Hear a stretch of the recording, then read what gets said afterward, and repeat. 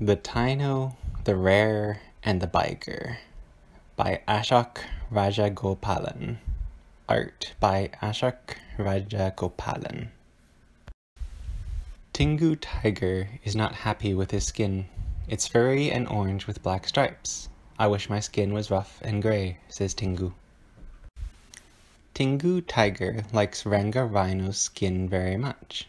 Will you change skins with me, Ranga? asks Tingu. What fun, says Ranga. Let's do that. Tingu gives Ranga his furry skin.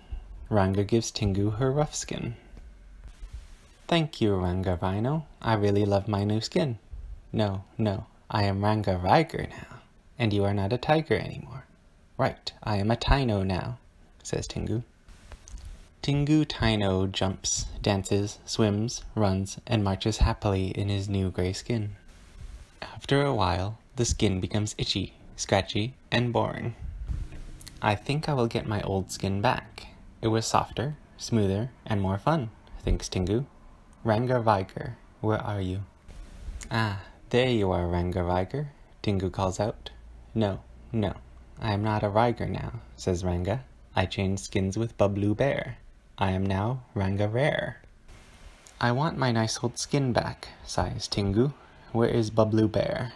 There by the pond, Ranga Rhear points, but Bablu is now a biger. Bablu Biger says no to Tingu. I don't want that rough gray skin and be a bino, Bablu says angrily. But I don't want to remain a Tino, cries poor Tingu. Bablu Biger has a great idea. Let's ask Rani Simi what to do. Rani Simi roars and growls at them. What nonsense, you silly animals. Change back to your skins right now. Ranga, give that skin back to Bablu. Bablu, give that skin back to Tingu. Tingu, give that skin back to Ranga. The rhear, the biger, and the Tino do as they are told. They are back to being a rhino, a bear, and a tiger. When Tingu, Ranga, and Bablu go away, Rani Simi grins to herself. That was fun.